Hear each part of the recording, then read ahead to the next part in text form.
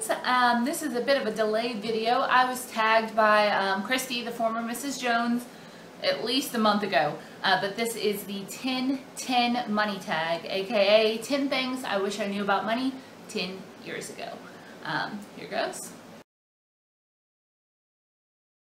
Okay, first off, I'm 28 years old right now. So 10 years ago, I was 18 and um, had just kind of taken over, um, had not been doing my finances, for my own finances for very long. Um, and I started making the majority of the bad money decisions that I've made in my life at 18. I went to college um, and started, took out a ton of student loans. I uh, got my first credit card um, and promptly charged it all the way up. Uh, that that I learned to not do anymore in college, but I am obviously still dealing with the student loans as I am uh, just I'm under $15,000 in debt right now, which seems weird to smile about, but considering that at one point I had almost $33,000 in debt, being below $15,000 in debt, all student loans actually feels pretty good. So the first thing I wish I knew is that it's possible to go to college without student loans. Now I worked from the time I was like 15. So I, um, I was a nanny at one point. I did babysitting. I um, got paid for being counselors at various camps. I um, did a little lifeguarding work. I did, um, I was a waitress at a restaurant my entire senior year um, and junior year. And I, so I was making money. And then when I was in college, I was working at the campus newspaper, which was paid. I was working at the local newspaper, which was paid. I did um, night cleaning work at an ice cream shop. Um, I worked occasionally for a catering company. I did dog walking and pet sitting. I was making money. And but I was spending it all. I was putting it all away. Now, because I didn't keep any kind of budget at the time, I couldn't tell you if I was actually making enough to put towards my student loans and eliminate them completely, but I was making enough to not have to take out extra student loans to live off of, I guarantee that. Um, so I wish that I had applied for more scholarships. I wish that I had um, basically done anything possible to not have to take out student loans. To me, it seemed like everyone was doing it and that there was no other way I could pay for college. Um, no one really presented me with any other options. I knew that my family wasn't going to kick in at all and that it was it was up to me.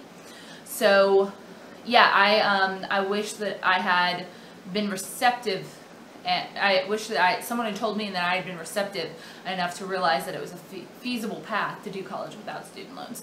Um, because I'm a very determined person and I really think that if at 18 I really, really wanted to go to college without student loans instead of just really wanting to go to college, I um, could have made it happen. So, all right, um, number two, I wish that I had um, known basically what a 401k was and that at my very first job I had uh, signed up for it. Now, I don't know how much money I lost or how much it would equate out to be in the future if I had signed up for a 401k at my first job, which offered it and a match. I remember they had a match, um, but I remember when I did all the sign-up paperwork, they were like, and do you want a 401k? We have company. And I was like, no, no, no, I don't know what that is. I don't understand it. In my head, I was thinking, I'm too young for this. I was just completely unknowledgeable. I was thinking this is another thing that they're having to take out. They're already taking out health and they're already taking out all these taxes. I just want my money. And uh, I wish that I had opted into the 401k plan at work because I would probably have a lot more money in my 401k right now. Um, the second job didn't offer a 401k and the job I'm at currently doesn't offer one. Um, but down in Hammond, they had a really good match. So I did contribute to it when I was down there. Not a lot, not really enough to offset my debt, but it um, there'd be a lot more in that account if I had taken the 401k at my very first job. So it still hurts me a little to think of the money that I lost out that was free money that the employers would have given me just if I contributed a little bit to my future. So most of this is going to boil down to being knowing things that, yeah, uh, knowing things that I didn't know then, being smarter and being more well-informed and more educated. Um, number three, I wish that I had had an emergency fund 10 years ago. because all sorts of crazy things happened in college. You know, my freshman year, I got into a car accident and I didn't have the money for a new car. I didn't have an emergency fund. I didn't have money week to week. Um, you know, I was always waiting for the next paycheck to see to be able to do anything to pay my bills, and I I didn't have savings. um, I I think I, I would occasionally set up a savings account at the same bank I had a checking account at and put like fifty dollars in it, and then promptly at least the next month pull the fifty dollars out and end up having to close the savings account because that's how little I saved. So I would have been able to eliminate a lot of stress, especially like car repair related stress and uh, all sorts of things if I'd had an emergency fund. So I, I very much, much wish I'd, I'd known and been able to take action on that 10 years ago at 18. Whew, 18 me was dumb, by the way, if you're not catching on to that yet. All right, number four is I wish I had known to save for the future at 18. I mean, I knew the concept of saving, and I knew that you should save, but it never seemed like a real thing that I could do, just kind of doing odd jobs here and there and not being, you know, being a full-time student and then just probably working 20, 30 hours a week doing other stuff. Um, it just, I, I wish I had known that I needed to save for the future now, um, as in 10 years ago now. Um, I, I always thought of that as something, you know, you'll do in the future when you have a job and have money. And you'll just never I'm joking. I will. I will. But um, yeah, I saving is a priority from day one, and I I just didn't realize how big of a priority it was. All right, number five. Um, I wish I had known about sinking funds and more saving. I wish I had known that you always need to be saving for things that are going to go bad, which seems really basic. um, now I'm always saving for a new car. Um, at, at least um, for once my laptop is about a year old, I start saving for a new laptop because I know I'm going to need something, a new one eventually. You should always be saving for those things that you're eventually going to need to replace. It's just common sense. I didn't have that. um, for homeowners, you know, you're always you should always be saving for that next roof because you know it, you're going to need new roof every X amount of years, or you know you're going to need new appliances every X number of years, and it's not a surprise when, or it shouldn't be a surprise when they give out things have planned obsolescence. They're or they're gonna go bad eventually. Your phone's gonna go bad. Your computer's gonna go bad. Your car's gonna go bad. You're gonna need new one eventually. Um, and if I had known, if I had realized that in my dumb 18-year-old brain, then I probably would have um, attempted to save for future cars or future laptops or something. Actually, I probably wouldn't have. But I wish I had known what I know now 10 years ago on that. okay. Um, number six this many fingers, not this many. Um, I wish that 10 years ago I had known that you need a financial plan or a plan in any way in general. Uh, my plan at the time was graduate high school, go to college, get a job, which is not a detailed enough plan. um, you need a plan for your money and you need a, a, a, more overarching plan for your life. And even though, you know, God laughs when you make plans, you need something in place to give you guidelines. So especially some sort of budgetary plan for where your money's going and what bills are coming up and what you're going to need to accomplish soon. Um, but also just kind of thinking more along the lines of where you're going and what you're doing um, and what are the next things that you want to strive for. So, all right, number seven is I wish I had known at 18 that credit cards are a complete and total scam and that cash is king. Um, like I said, at 18 years old, I took out my first credit card. I um, think I had a $500 limit. Within a couple of months, I had it charged up. Um, I was only paying the minimum payments. Um, and then I got another credit card, I think it was a Walmart credit card, it was a $1,000 limit. And within a few months, I had it charged up.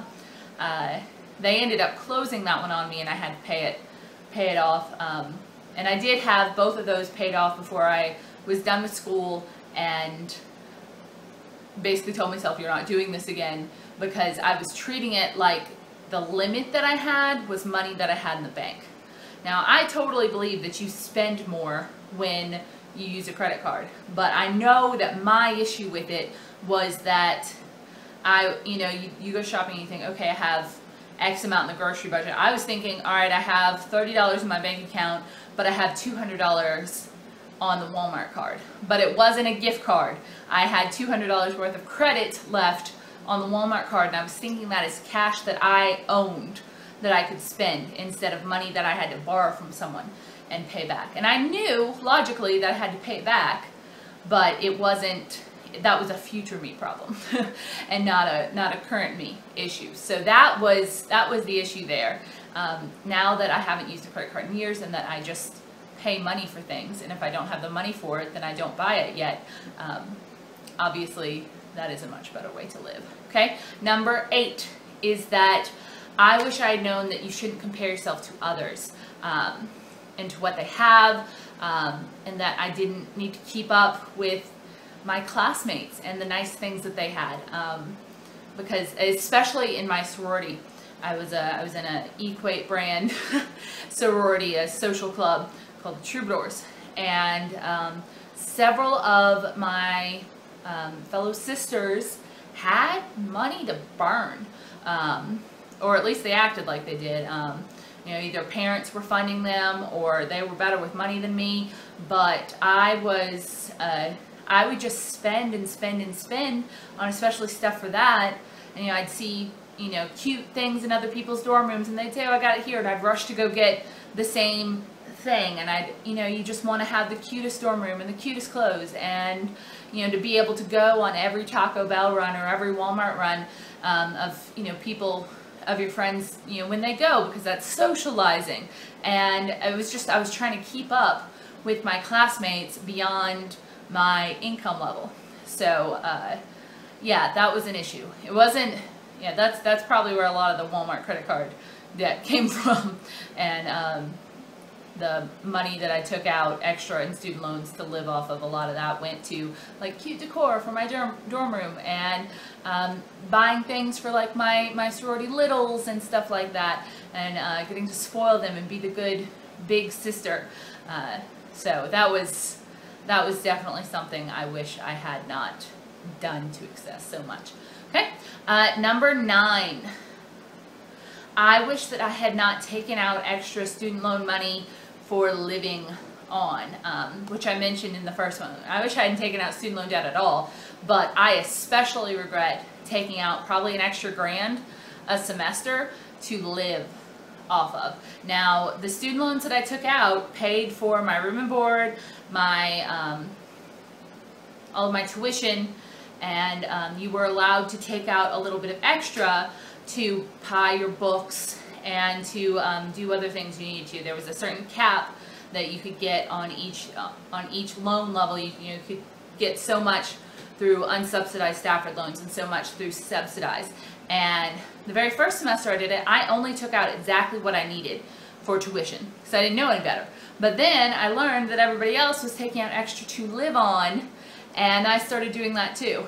And that money just got blown on all the stuff I've talked about before, you know, presents and Taco Bell and Taco Bell was like college um, and all this other stuff. It's a lot of eating out, especially when I had a meal plan in the cafeteria that I didn't use all the meals for. So it was, uh, I, I, lived off of that money, but it was usually gone within a couple months. So, uh, and I always thought I'll save it just in case, you know, I'll open a bank account, a savings account, and I'll save it, and I'll put you know, I'll, I'll take out $1,200. I'll put a 1000 in there and that'll just be in case something comes up that's an emergency. Um, so I borrowed my emergency fund and then an emergency would come up, probably um, a, a trip to the Mexican restaurant. Cheese dip was an emergency. Cheese dip is still kind of an emergency, but I pay cash now. Alrighty, um, and last one, number 10. I wish that 10 years ago I had known that the decision decisions I was making then would affect me 10 years from now. I, I don't know why I thought they wouldn't, but there was no way at 18 I thought that I would be at all affected at 28 by the decisions I was making at 18. I thought that, you know, 10 years from now, I would be making good money and a good job, and I would, you know, I just, I had no idea what journalists made. I, I didn't know. um, I thought it would be enough to pay off my student loans real quick and just, you know, live and travel and do whatever I wanted. Um, so stupid is the, is the overwhelming theme here. But I, um, I had no idea that the decisions you make today can affect you 10 years from now, positively or negatively. Now I know that at 38, the decisions I'm making today will absolutely affect me. The decisions I'm making today to pay off debt, to save, to set myself up um, job-wise and for the future, um, decisions I make towards my retirement are absolutely going to affect me 10 years from now and for the rest of my life. So I definitely did not have a grasp on that at 18 years old. Um, so I would love to know what um, what decisions you regret from 10 years ago. Because this is kind of a fun tag. Um, it's you know it's kind of a tough tag to talk about and to watch other people talk about because I watched most of the other videos like I did that. Oh I did that. Oh. And you have to really kind of it's a come to Jesus tag. And you know nobody likes come to Jesus meetings but I I am okay doing that with you guys. None of this is secretive for me. You know, I, I talk about stupid decisions that I've made. Um, it's, it's a little different to, however, put that in the perspective of how, how a decade makes a difference in that. So, yeah, I was dumb then, then and I'm, I'm dumb now, but I'm less dumb. So, uh, and, and you know, 10 years from now, I'll be even less dumb than I am now. I'm just getting a little smarter, a little wiser every day and every year. So, um, but that's life, right? So, uh, like and subscribe or something. I will have, um, I'll have more videos soon. Bye.